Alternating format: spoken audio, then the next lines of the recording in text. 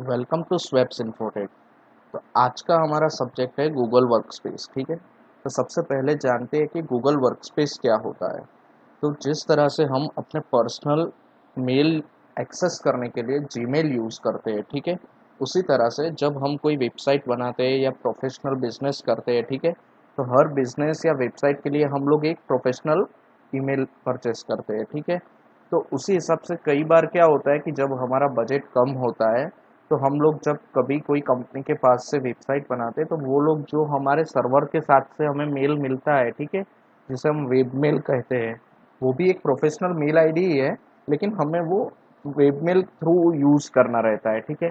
अभी web mail की web mail में दिक्कत क्या होती है कि वेब मेल हम हम मोबाइल में यूज़ नहीं कर सकते, ठीक है? सबसे पहले तो। उसके लिए कंपलसरी आपके पास लैपटॉप या कंप्यूटर होना चाहिए पीसी होना चाहिए, ठीक है? क्योंकि उसका मोबाइल इंटरफेस काफ़ी ख़राब है। ठीक है बार बार लॉग आउट हो जाता है वो सब। दूसरा एक डिसएडवांटेज ये है कि उसमें स्पैम मेल बहुत आते रहते हैं। ठीक है? तीसरा ये है कि वो हैक होने के चांसेस ज़्यादा है। अगर वो हैक हो गया तो आपकी वेबसाइट पर भी दिक्कत आ सकती है, क्योंकि दोनों एक ही सर्वर के साथ कनेक्टेड रहते हैं। ठीक है? और जो लोगों का बजट नहीं होता है, उसके लिए तो वेब मेल ही सब कुछ है। ठीक है? तो वो वेब मेल ही यूज़ करेंगे क्योंकि वो फ्री सर्विस है, ठीक है? आप जब भी कोई वेबसाइट बनाते हो और उस टाइम पर जो सर्वर आपको दिया जाता है, वही सर्वर आपको प्रोफेशनल मेल आईडी फ्री में देता है और उसको एक्सेस करने के लिए स्पेस भी फ्री में मिल जाती है आपको, ठीक है? तो जिसका बजट कम है, उसके लिए तो ये अब हम कुछ नहीं कर सकते। लेकिन हाँ जो अच्छे से बिज़नेस कर रहा है, जिसका बिज़नेस निकल पड़ा है मतलब अर्निंग स्टार्ट हो गई है, ठीक है? तो उन लोगों के गूगल वर्कस्पेस में स्विच कर लेना चाहिए, ठीक है? गूगल वर्कस्पेस का फ़ायदा क्या है कि जिस तरह से हम अपना पर्सनल मेल जीमेल में एक्सेस करते हैं, उसी हिसाब से गूगल वर्कस्पेस में हम प्रोफेशनल मेल एक्सेस कर सकते हैं। मतलब सिंपल है जी ओपन कीजिए, जहाँ हम अपनी personal email ID and password डालते हैं, उसी जगह हमें अपना professional mail ID and password डालना है। अभी किसी को पता ना हो प्रोफेशनल मेल आईडी तो वो भी दिखा देता हूँ। जैसे आपकी कंपनी का नाम ए बी इंटरनेशनल है, ठीक है?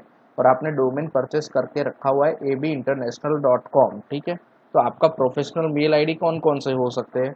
Info at the rate A B international dot com contact at at the rate A B international dot com मतलब आगे कुछ भी लगाओ, पीछे एट द रेट के बाद आपका domain name A B international dot com ठीक है? उसको हम प्रोफेशनल मेल बोलते हैं। तो आपने कभी सुना भी नहीं होगा कि हम उसको जी में यूज़ कर सकते हैं, ठीक है? लेकिन गूगल वर्क वर्कस्पेस हमें अच्छे से ये सर्विस प्रोवाइड करता है। और पहले वो पंद्रह दिन के लिए फ्री ट्रायल भी देता है आपको यूज़ करने के लिए। फिर आपको अच्छा लगे तो उनके पास कई सारे पैकेजेस है, ठीक है? तो आज हम उसे किस तरह से, एक वेब मेल को किस तरह से हम गूगल वर्कस्पेस के साथ कनेक्ट कर सकते हैं, वो दिखाता हूँ। मेरा एक क्लाइंट है, उसको वेब मेल अभी नहीं जच रहा है, ठीक है? उसका बिज़नेस अच्छे से चल रहा है। अभी वो सोच रहा है कि किस तरह से उसको गूगल वर्कस्पेस के साथ कनेक्ट कर सके, ठीक है? तो उसके लिए आपको कुछ स्टेप्स फॉलो करने हैं। तो वो स्टेप्स है कुछ इस तरह से।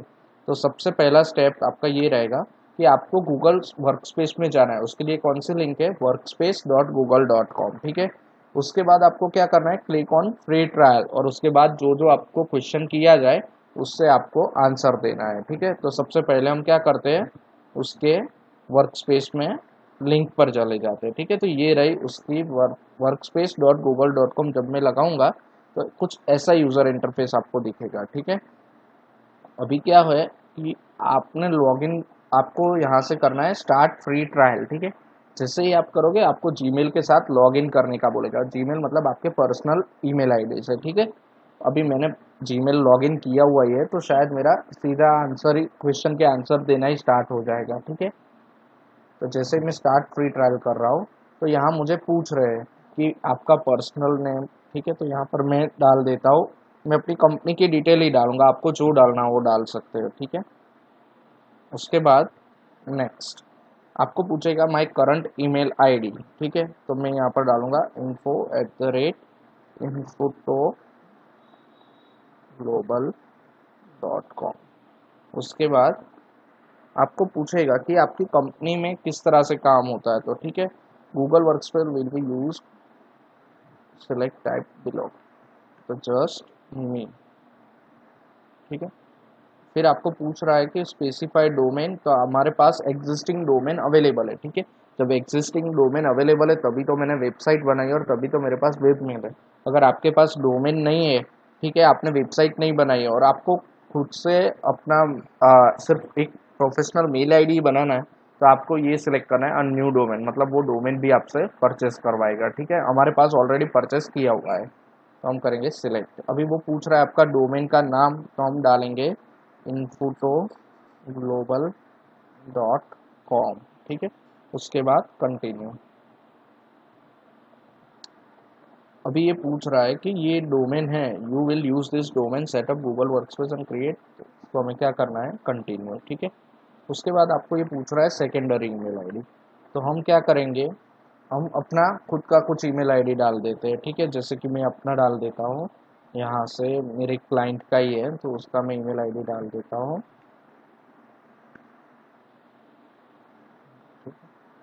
ये डाल दिया, और यहाँ से करता हूँ कंटिन्यू अभी ये आपको यहाँ से पूछ रहा है यूज़र नेम एंड पासवर्ड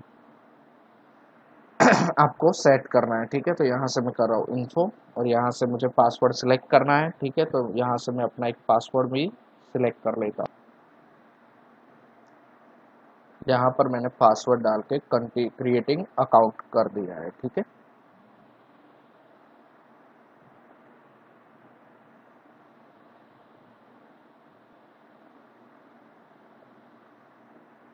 अभी ये आपको welcome to the admin console ठीक है? हम एडमिन कंसोल में आ गए। अभी हमको कह रहा है नेक्स्ट ठीक है। तो अभी सबसे पहला स्टेप हमारा ये होगा, जब रजिस्ट्रेशन के बाद, कि आपको आपका डोमेन प्रोटेक्ट करना है। मतलब ये आपको कुछ टास्क देगा या फिर बोलेगा, आपने जहाँ से डोमेन परचेज किया है, वो यहाँ पर लॉग करो, ये वो। ठीक है? तो हम देखते हैं हमें क्या टास्क मिलता है। हर बार कुछ अलग ही रहता है, ठीक है? तो यहाँ से हम करते हैं प्रोटेक्ट अभी ये हम सब कह रहा है कि आप अपने डोमेन को वेरीफाई करने के लिए रेडी हो तो I ready to protect my domain okay अभी क्या बोल रहा है कि आप न्यू टैब में अपना गो डेडी जहाँ से मतलब आपने domain who you domain host is new tab open your domain host website and sign in to your account, not sure who your domain host is. ठीक है? हम करते हैं। ठीक है? उसके बाद क्या बोल रहा है कि आप ये एक कोड, उसको क्या कर लीजिए? कॉपी कर लीजिए। ठीक है? तो हम यहाँ से क्या करते हैं इसको? Text copy. ये कॉपी हो गया। ठीक है? उसको क्या बोल रहा है कि आप इसको टी टी रिकॉर्ड ऐड कीजिए अपने होस्टिंग में जाकर। ठीक है? तो मैंने ऑलरेडी अपना होस्टिंग लॉगिन कर दिया है। ये मेरा होस्टिंग है, ठीक है? उसमें मैं जोन ये जोन एडिटर आपको रहेगा। डोमेन्स करके एक फ़ील्ड आती है, उसमें जोन एडिटर उसमें जाना है।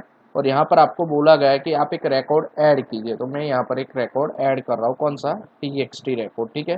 आपको होस्ट नेम में एट द रेट लिखने को बोला है। और यहाँ पर ये, अगर आपको होस्ट नेम में आप अपना डोमेन नेम भी डाल सकते हो, ठीक है?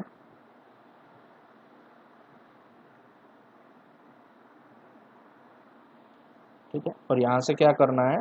सेव रिकॉर्ड करना है, ठीक है? जैसे ही इतना काम अपना हो गया, ठीक है? उसके बाद हमें क्या करना है? यहाँ पर आपको दिखेगा, आपने जो अभी डाला ना वो, ये रहा, ये वाला हमने डाला है, ठीक है अभी? सॉरी ये वाला अभी हमने डाला है, ठीक है? अभी हम उसको चेक कर लेते हैं कि ये सही डाला हुआ है या नहीं, ठीक है? तो उसके लिए क्या करना है?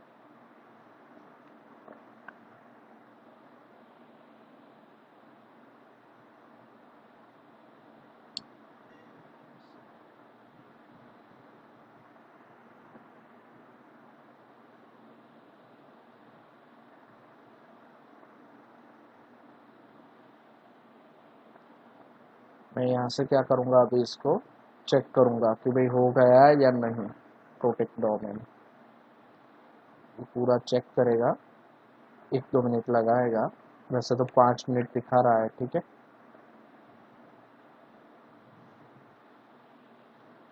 तो ये देखिए, ये हमारा well done Infoto global dot com is protected ठीक है? मतलब ये प्रोटेक्ट हो गया है डोमेन ठीक है? अभी हम करते हैं कंटिन्यू जैसे ही कंटिन्यू करेंगे। यहाँ पर एडमिन कंसोल ओपन हो जाएगा अपना, ठीक है? अभी यहाँ पर पूछ रहा है क्रिएट न्यू यूज़र पर। हमें नहीं क्रिएट करना है, ठीक है? फिर यहाँ से कह रहा है कि active Gmail for Infoto global dot com ठीक है? तो हम यहाँ से क्या करेंगे? एक्टिव फिर से आपको कोई टास्क देगा आई एम रेडी ठीक है? हम हमेशा रेडी ही रहते हैं, ठीक है? उसके बाद आपको यहाँ से क्या बोल रहा है कि आप सबसे पहले अपने होस्ट वाले में जाइए और एम एक्स रिकॉर्ड आपको चेंज करना है, ठीक है? और ये कंपलसरी है। जब भी आप गूगल वर्कस्पेस में आते हो तो आपको आपके होस्टिंग के एम एक्स रिकॉर्ड निकाल के गूगल वर्कस्पेस के एम एक्स रिकॉर्ड ऐड करने रहते हैं, ठीक है? तो उसके लिए हमें क्या करना है? यहाँ पर कुछ दिया हुआ होगा नेक्स्ट ठीक है? तो ये सारे एम एक्स रिकॉर्ड आपके दो एम एक्स रिकॉर्ड होंगे, ठीक है? उसको आपको क्या करना है? डिलीट करना है। और फिर आपको दूसरे कोई नए एम एक्स रिकॉर्ड चार या पाँच रहे थे, उसको ऐड करना रहे।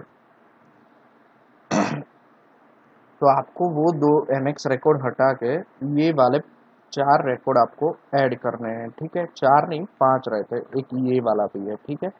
एक ये और बाकी के चार, ये, वो मैंने यहाँ पर मेंशन किया हुआ है, ठीक है? हमें ये पाँच M X record G suite के लिए अप्लाई करना रहता है, ठीक है? गूगल वर्क स्पेस को ही हम जी सूट बोलते हैं, ठीक है? तो उसके लिए क्या करेंगे? सबसे पहले अपने पोस्ट में जाएँगे, वहाँ से एम एक्स रिकॉर्ड सिलेक्ट करेंगे, ठीक है? जितने भी होंगे, उसको क्या करेंगे हम लोग? एडिट कर सकते हैं या फिर डिलीट कर सकते हैं। तो मैं पहला कर देता हूँ एडिट ठीक है? तो ये नेम आपको आपके डोमेन नेम ही रखना है टी टी एल भी जो आता है वो बाय डिफ़ॉल्ट रखना है। यहाँ टाइप में से एम एक्स आ रहा है एम एक्स प्रायोरिटी मेरी है वन ठीक है, और यहाँ से क्या हो जाएगा वो?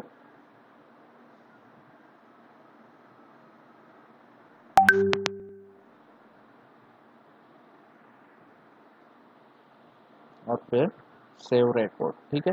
फिर आपको क्या करना है? ऐड रिकॉर्ड फिर से आपको क्या करना है? यहाँ पर आपका डोमेन नेम लिखना है।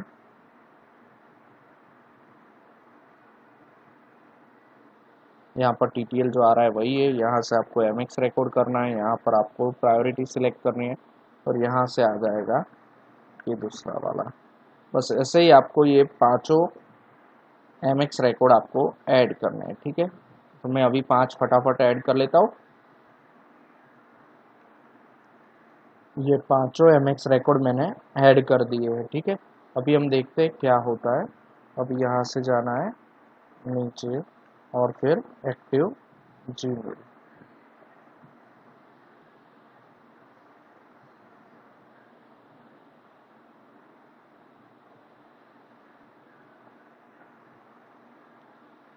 ख़त्म हो गया, यहाँ से आ गया फिनिश ठीक है? अभी देखते हैं हमारा लॉगिन होता है कि नहीं जी ठीक है? और स्किप ना हो मुझे ये दूसरा यूज़र कोई ऐड नहीं करना है, ठीक है? इसके लिए मैं कराऊँ और स्किप ना हो अगर आपको एक से ज़्यादा हो तो आप कर सकते हो, ठीक है? अभी पंद्रह दिन के लिए मेरे पास फ्री है, उसके बाद मुझे बिलिंग सेटअप करना है तो फिर से वो रिमाइंडर आ जाएगा, उसके बाद मैं सेटअप कर सकता हूँ, ठीक है? मैं चेक कर लेता हूँ, हमारा जी एक्सेस हो रहा है या नहीं, ठीक है? तो यहाँ से हम क्या करेंगे? जी मेल डॉट कॉम ठीक है?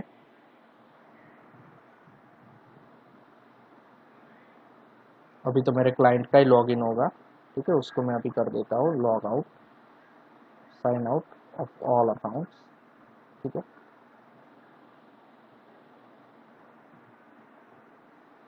इसके बाद यहाँ से मुझे पूछ रहा है, कौन सा? तो मैं यहाँ से करूँगा इनफोटो ग्लोबल ठीक है? अभी अभी जस्ट मैंने क्रिएट किया है, ठीक है?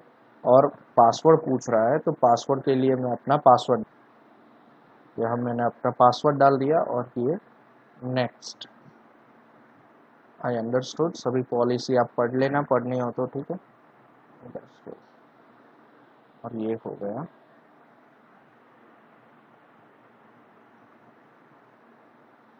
लॉगिन ये जीमेल है, ठीक है? लेकिन यूज़ कौन सा हुआ ID info at the rate Infoto global dot com ठीक है?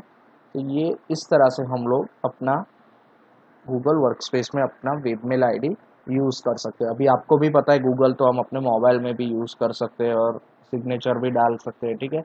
तो ये काफ़ी हेल्पफुल रहता है और इसका starting price 125 125 plus tax that means कुछ 145 या 149 इंडियन रुपीज़ से पर मंथ स्टार्ट होता है। लेकिन इसका एक डिसएडवांटेज ये है कि इसमें आपको जब सेटअप बिलिंग करते हो तो क्रेडिट कार्ड की डिटेल डालनी रहती है, ठीक है? तो अगर आपके पास क्रेडिट कार्ड नहीं है तो फिर आप नहीं कर सकते और मैं आपको सजेस्ट करूँगा कि आप दूसरों का भी मत लीजिए। आपके फैमिली का हो तो ठीक है, क्योंकि यहाँ पर क्या होता है, ये फिक्स डेट को हर महीने आपके अकाउंट से बाय डिफ़ॉल्ट 145 या 149 रुपीज़ काट लेते हैं, ठीक है? कोई पिन या कुछ भी नहीं होता है। तो अगर आपने आपका दोस्त का यूज़ किया है तो बेचारे के अकाउंट से खामों का हर महीने कट होता रहेगा, ठीक है? ऐसा नहीं है कि वन टाइम पेमेंट करना है तो दोस्त का ले लिया। वो जब तक आपका ये ईमेल आईडी चालू रहेगा, तब तक आपके अकाउंट से हर महीने की फिक्स डेट को आपके अकाउंट से बाय डिफ़ॉल्ट पैसा कट हो जाएगा, ठीक है? तो आप अपना ही कार्ड यूज़ कीजिए, ठीक है? सेटअप बिलिंग में जाओगे तो आपको वही कुछ पूछेगा, आपका नाम credit card number C number expiry date जो भी रहता है, ठीक है? और फिर वो लोग एक्टिव कर देंगे आपका बिलिंग चलिए तो फिर नेक्स्ट वीडियो में मिलते हैं कोई नए सब्जेक्ट के साथ। आशा रखता हूँ आपको कुछ नया जानने को मिला, ठीक है? मिलते हैं, चलिए बाय और हाँ अगर आप नए हो तो हमारे चैनल को सब्सक्राइब भी कर लीजिए और पुराने हो तो लाइक और कमेंट शेयर सब करते रहिए। हमें भूल ना जाया कीजिए। ठीक है? हम आते रहेंगे नए सब्जेक्ट लेके आपके पास। मिलते हैं। बाय।